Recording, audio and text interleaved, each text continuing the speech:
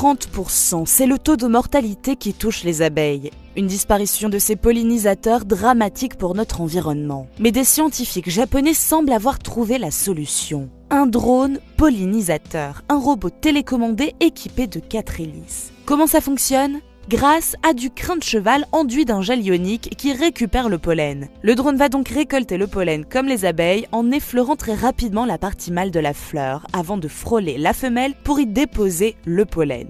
Une pollinisation artificielle pour lutter contre les effets de la disparition des abeilles. Malheureusement, elle ne pourra jamais être aussi efficace que la pollinisation naturelle de ces animaux.